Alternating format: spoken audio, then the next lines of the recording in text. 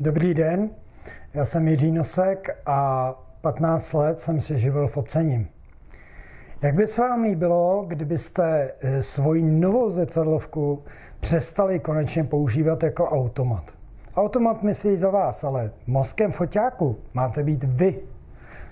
Co kdybyste si letos dovolené konečně přivezli haldu krásných snímků, které budou ostatní obdivovat?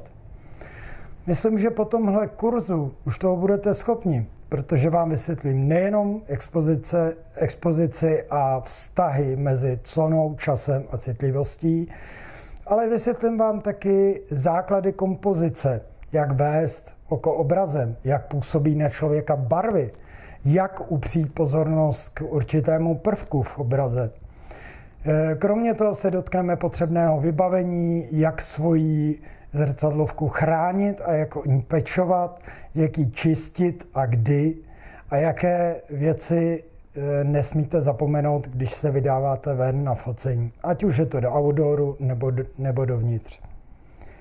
Řeknu vám spoustu věcí, které se vám budou velice hodit a dám vám ještě pár studijních námětů, kudy se můžete vydat dál. A jako bonus si dáme na jaře e, jedno odpoledne Eh, praktický, eh, při praktickém kurzu focení. Takže přijďte na kurz a přestaňte už to konečně odkládat.